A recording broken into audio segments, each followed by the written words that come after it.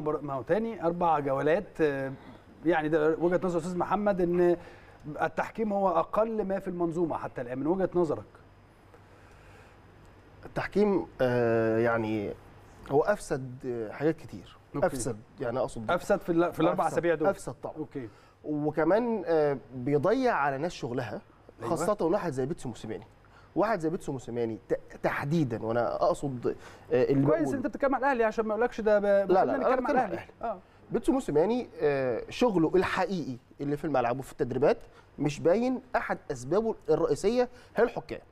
لأن آه، ناس كتير جدا بتقيم عن طريق النتيجة.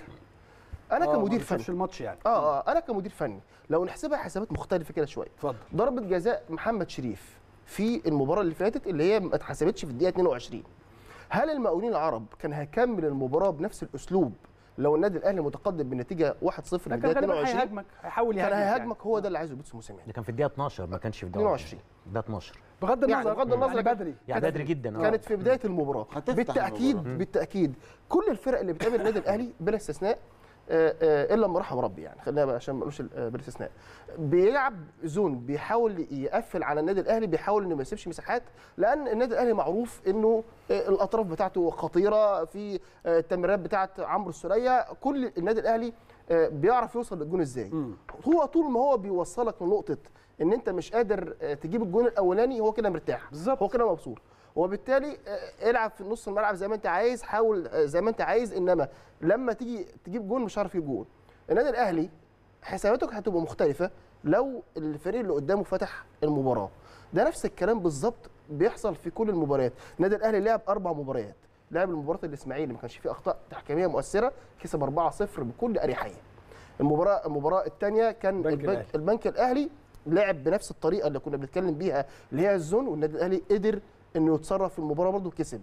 نادي الزمالك لما لعبت وما كانش فيه تدخل تحكيمي كان النادي الأهلي كسب خمسة إلى أن آه، ظهر آه، الاحتواء زي ما إحنا عارفين. ثم المباراة اللي بعديها لو اتكلمنا عن المقاولين نفس الفكرة اللي بقول لك عليها. اذا هو بيفسد شغل المدير الفني. لو المدير الفني آه، قدر يطبق خططه بدون تدخل التحكيم تحديدا لا وجهة نظر الناس هتختلف آه. في تقييم شكل الفرقة نفسه. الفرقة هتكون بتلعب بأريحية ال- الفريق اللي قدامك هيكون فاتح وبالتالي تعرف آه، تطبق اللي انت عايزه واللي تتمرن عليه. اذا التحكيم آه، لابد انه عشان كده انت اخترت كلمة أفسدة. طبعا آه طبعا. قصدها يعني. آه طبعا. مم. طبعا هي مقصود يعني أنا آه، آه، مفيش كلمة بقولها ما كنتش مقصودة خاصة في موضوع التحكيم يا كابتن إسلام. ليه أفسد؟ لأن آه، أقبل الخطأ لو مفيش آلة. ده اقبله انما طالما في آه، فار وفي آه، جنبه حد كمان مساعد وفي آه، امكانية انك تعيد في اللقطات. تكييف على فكرة مش عرقان ولا شايف ولا يعني آه ولا وفي امكانية انك تعمل كل حاجة وفي الآخر لا يتم الاستدعاء. في نقطة مهمة جدا بس اتفضل. برضو دايما الحكام مع النادي الأهلي تحديدا احسب الخطأ وبعد كده نتفاهم. يعني احسب ضربة جزاء وبعد كده نتفاهم.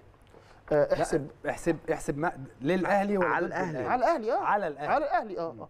أصل إنما لو هو طبق نفس النظام اللي حضرتك بتتكلم فيه ده لا، آه، هيبقى كويس لا، لا، لا، جدا لو احسب- لو احسب. هي عدالة يعني. احسب على الأهلي وبعد كده نتفهم. آه. إنما لو الخطأ للأهلي مشي مشي مشي ونبقى نشوف. ولو الفار ندهني تمام ما ندهنيش أنت ما حسبتش ليه؟ الفار ما جابنيش. طيب بص ده معنى إيه؟